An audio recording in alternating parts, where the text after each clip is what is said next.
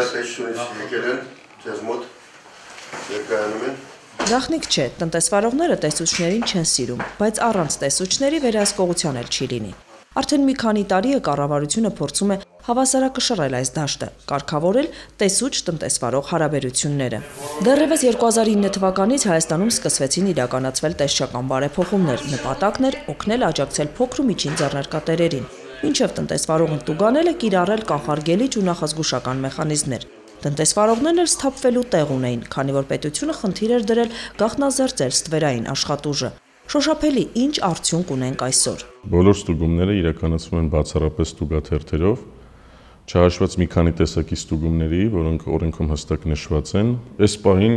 մեր կարծիքով կա բոլոր գործիքները տնտեսվարողի համար, բարեխիղճ տնտեսվարողի համար արդյունավետ պաշտպանվելու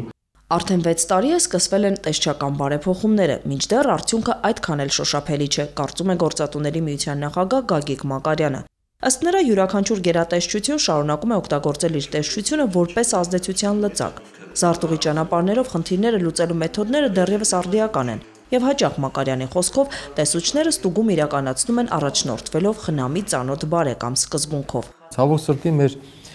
տեսչական մարմինները հասկանում են միայն կոնտրոլ, տուգանք տուժուտուգանք կամ ահաբեկվել, որ հիմա ձեռնարկությունը պիտի փակեն կամ պիտի գործունեությունը դադարացնես, որը ուղղորդվում էր, ուղեկցվում էր կոռուպցիոն ռիսկերով։ Այսինքն նման իրավիճակում գործատուին ոչինչ չէր մնմանելու, քան բանակցել, որ մի փակեք, ուրեմն թողեք աշխատեմ, դրա համար բնականաբար ինքը պետք է գնար կոռուպցիայի կամ էլ եթե նույնիսկ գրվում էին այդ ակտերը, դրանք դատարաններում արդեն սկսում էին հայո բողոքարկվել եւ քաշքշուկներ էին առաջանում։ Նման դեպքերում մեղքի իրենց բաժինն ունեն նաև տնտեսվարողները։ Անհեթեթ եւ ոչ ձեռնտու իրավիճակներից խուսափելու համար նրանք նախ եւ առաջ պետք է տիրապետեն եւ տեր կանգնեն իրենց իրավունքներին։ Տեսչական բարեփոխումների խմբի ղեկավար Հայկ Այվազյանը մի քանի խորհուրդներ է տալիս ֆիզիկական անձը, որը չի ներկայացնում ոչ մի պետական մարմին, ոչ մի վերահսկողություն իրականացնող մարմին, մտնում է տնտեսվարողի մոտ, ներկայանում է որպես պաշտոնատար անձ, պարտադիր թող հավաստիանան, եթե պլանային ստուգում է, արդյոք տարեկան ծրագրում ներառված են եղել, թե ոչ։ Եթե պլանային ստուգում չի, հանձնարարագրին ծանոթանան։ Ծանոթանան հանձնարարագրի մեջ նշված ժամկետներին, իմ առողջությունը վարչապետը ֆեկեց, որտեվ յուրաքանչյուր տարի դեկտեմբերին բոլոր այդ տեսչությունները հասկանալի պատճառներով ստուգումներ էին գալիս Եվ այս տարի ես ուրեմն թեթևացած եմ։ Մեր մոտ եղան Անգլիայից նախադպրոցական կրթական համակարգի տեսուչ։ Մեր մոտ ասում է տեսչությունը ավելի շատ ուսուցողական, սովորեցնելու, ցույց տալու եւ ոչ երբեք պատժելու կամ փակելու կամ չգիտեմ սննկացնելու նպատակի հետ կամ բյուջե լցնելու նպատակի